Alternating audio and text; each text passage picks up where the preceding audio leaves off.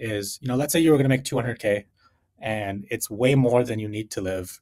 Um, and the thing to point there is uh, in the higher offer that's just cash um, um, option, the there's no capital gains efficiency on just your equity being worth uh, a dollar amount at one of the liquidity events. And then the other difference is if you were to invest some of the higher salary cash into the stock market, you're doing it after the money's been taxed.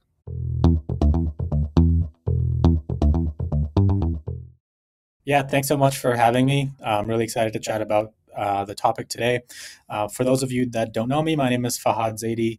I currently work at Neo as an engineering manager, specifically for our data analytics team. Neo is a fast growing startup in Calgary. It's one of the only unicorns ever to come out of Calgary. We are taking like a first principles approach to rethinking how Canadian uh, consumers interact with banking experiences through digital technology. Um, so, you know, not just uh, creating the same thing that you would get at a bank in a, in a phone uh, or, in, or in an app, uh, but really rethinking what the best way is for someone to interact um, from a financial pers- perspective with you know day to day experiences. Uh, but yeah, really excited to chat chat with you today and see um, how I can help. Yeah, of course. Um, one of the, the first things I, I remember about about Neo was I think it was a signboard. It was like an ad board at a, at a bus stop somewhere here in Vancouver, and it said like ditch your parents' bank or something like that. And I thought that was really funny. But bringing the focus back to to what you wanted to talk about here, and I think we've, we've spoken about that on the pod before, is the idea of equity um, and and your salary. Right, it's, it's relevant to a lot of people because we're graduating now. We're looking at job offers, and honestly, we're we're relying on people who've done this before to tell us if that's a good offer or not. How should we negotiate and all those things. Um, but equity is something that not a lot of people still fully understand. Um, so maybe today we can spend some time talking about what that really means, and and also some things that I think you that'd be really valuable for the people to hear. So maybe to kick things off, let me ask you this: Why do companies offer equity in the first place?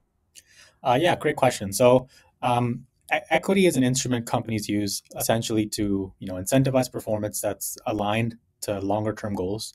Um, and the way companies do that is by giving you a seat at the table. So typically, equity or options, or you know, however uh, a company describes it, it's uh, it's a set of reserved shares that are only allowed to investors and employees. Um, and so what happens is, um, you know, management teams will use this as a tool to to just motivate people um, to get them to work towards the same, you know, longer term or midterm goals that the business has in mind as well.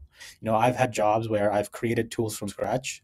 Uh, a bunch of companies have used that tools. I've seen the company I worked for, their revenues go up, but I get nothing because I just get my salary.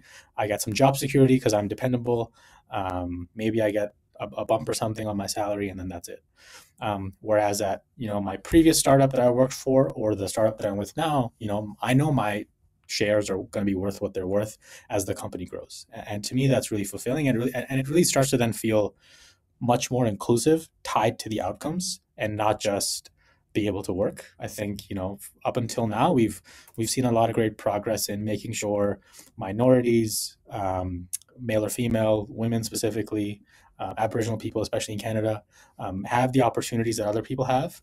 Um, but I think it's time to to also make sure that their outcomes are also tied to um, overall business goals as, as well. And equity is just one thing that um, allows for your personal outcomes to be tied to the company's outcome as well. What you said is really powerful, and I, and I completely agree. But something that I think people also don't understand is when does equity actually belong to you? Definitely. So great, great question. Um, and so you know, I want to kind of tip my hat to the pioneers of this model, which is you know companies that have done this in Silicon Valley really well, and then that has turned into a place called Y Combinator that kind of teaches early stage founders on you know what they can do uh, to implement like an equity incentive plan. And every company does it slightly different, but they use this overarching approach that I'm going to share, which is essentially a four-year vest with a one-year cliff. Um, this is a term that you know I would say came out of Silicon Valley, um, but companies across America, across Canada, um, across Europe, you know, they they play within this model. Um, and what that means is the one-year cliff is essentially to keep the math very simple. Let's say you're given ten thousand dollars worth of equity, um, on, you know, as a new grad. Um, you know, the one-year cliff is you know none of it is yours if you leave within the first year. So so you got to be there for one year, and at your one year, twenty five percent of it's gonna vest. So after twelve months, you own twenty five percent of your ten thousand. And then what happens is the rest of it will, will vest over the remaining four years. But and this is dependent on company. Um, you know, at Neo, for example, it vests every month. So, you know, you get your 25% at the 12 month, and then, you know, let's say you leave after 16 months or 18 months or 23 months, um, you have 23 months worth of equity once you're there for 23 months. You have 13 months worth of equity um, if you're there for 13 months. Um, so that's uh, when the equity actually belongs to you. It's typically, you know, just to make sure uh, people stick around for a meaningful amount of time. It's it's a one year cliff, and then it's all yours uh, once you assuming you've been there for four years. Sorry, and is there a restriction on like when when it belongs to me? What can I do with it? Um, if I just wanted to sell it, if I wanted to like keep it, what, what does that look like? Yeah, great question. Um, so there's uh, for private companies, uh, it only turns into cash when there's liquidity events. Um, and again, there's three kinds of liquidity events I've seen. And so the first one is if the company goes public, uh, the equity, all of your equity that's vested, it belongs to you the day the company goes public, and it's worth it's worth what it's worth that day. And then from there, they're your shares. So you can do whatever you want with them. You can sell them, you can keep them, you can sell a portion of them, you know, a high percentage of them, a low percentage of them. You can do whatever you want. The other uh, scenario is if the company gets bought. Um, so depending on how much the company gets bought for, your shares are what they're worth at that time. Um, if they're bought by a public company, again, your shares are public that day. If they're bought by a private company, typically there's some discussions around if you want that as cash, if you want to keep your equity, if you want to convert it, and stuff like that. The third liquidity event, and this is something Neo offers that I think is quite unique, um, pioneered by some of the other players that came before us, but but it's still something recent, um, is when we do a secondary um, uh, sell. Uh, and so, for example, if a company is worth, let's say, a million dollars at Series A, and you were given a bunch of equity, if the company is now going to be worth $2 million at Series B, which would never happen, it would be much more than that, I hope. um, um, but your the, the shares you were given or the equity that you were given at Series A are now worth double, and you can trade them with the Series B investor for cash. Just building on that, and you touched on this already, and I think it's, it's an important question to ask. Um, let's compare a salary where you're getting a higher base and just that. So like someone's paying agreeing to pay you like 200k a year. Okay, and let's put another offer on the table where maybe you're getting paid like I might be messing the numbers because I don't know too much, but maybe you're getting paid like less than that, but you get this added equity piece. Um, as a candidate, if it were you, how are you evaluating this these two options, and ultimately, what are you picking? Um, so I think the the thing to really pinpoint there is, you know, let's say you were going to make 200k, and it's way more than you need to live um, and we get this question a lot of like, well, isn't that just the same thing as equity? Because and then you could just invest some of that cash that's left over into the stock market or cryptocurrency or houses or something like that. Isn't that kind of the same thing as having equity in just your company? Um, and the thing to point there is, uh, in the higher offer that's just cash um, um, option, the there's no capital gains efficiency on just your equity being worth uh, a dollar amount at one of the liquidity events. And then the other difference is if you were to invest some of the higher salary cash into the stock market, you're doing it after the money's been taxed. Whereas with an equity offer, your money is invested into your own company, into your own work. You're betting on yourself and, and what you believe in um, pre tax. Uh, and then on top of that, when you have a liquidity event, in Canada at least, capital gains tax is a lot lower than income tax. So, so there's a huge efficiency there as well.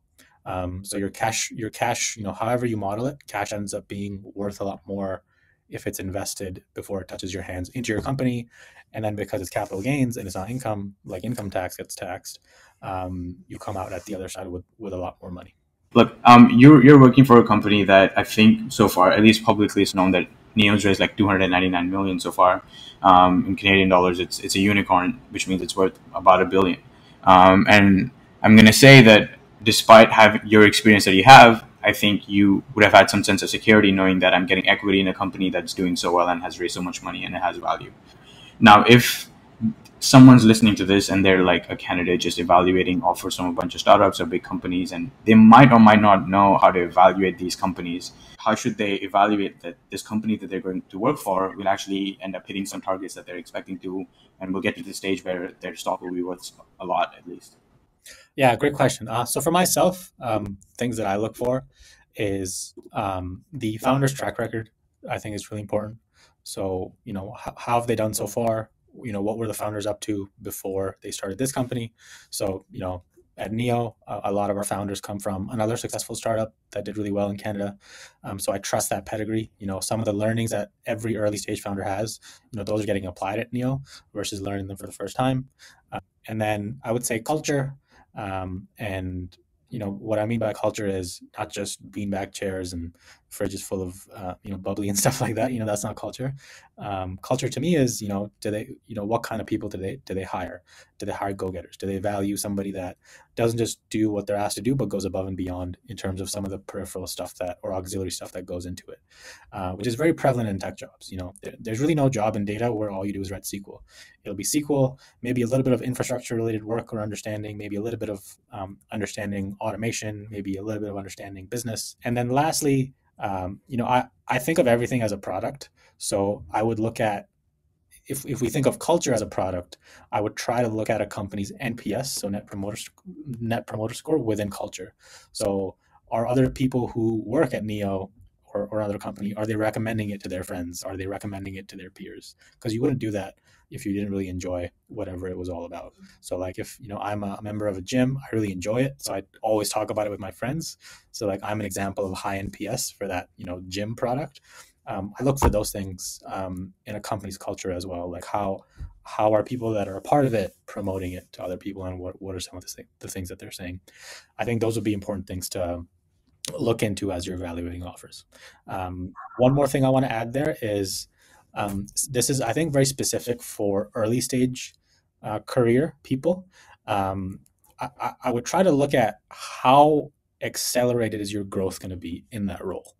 So if it's your first or second job, when you eventually interview for your next job, um, how is this current role that you're evaluating going to help you?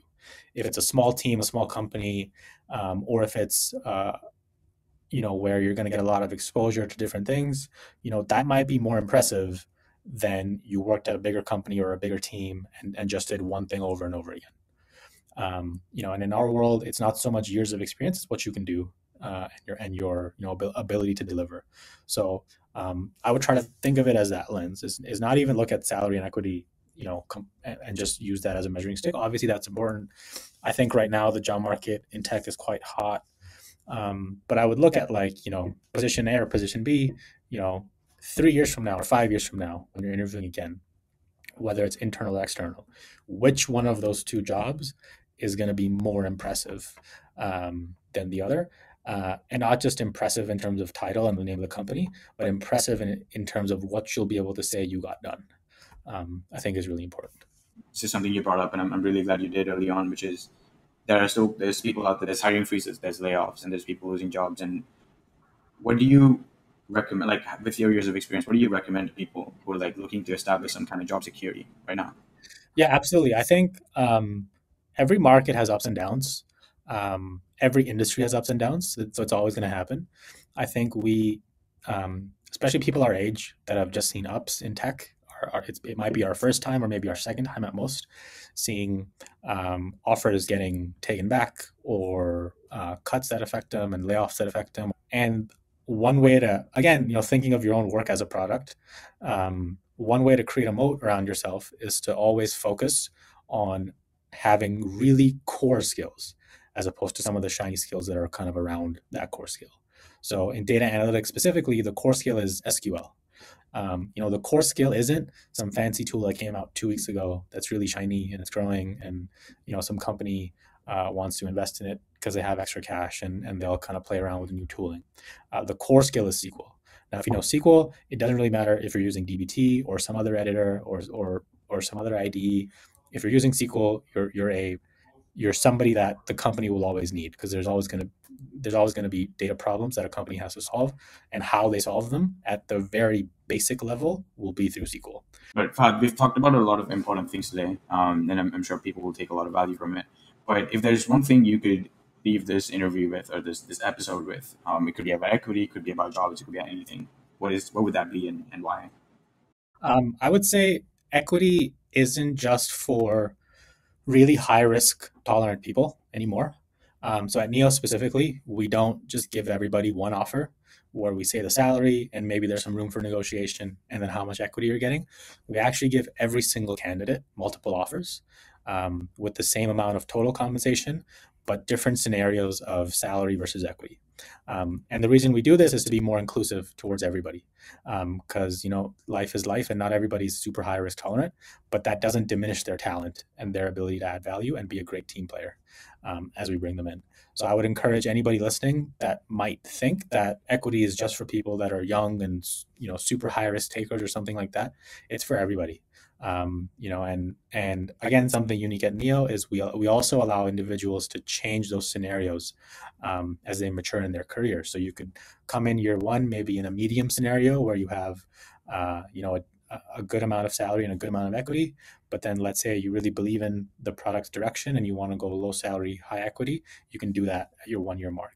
And then let's say you're you continue to have fun at Neo um, and you're really growing and developing, but now you have other obligations outside of work. Well, in year three, you can go into high salary, low equity, low, equity, and, and vice versa.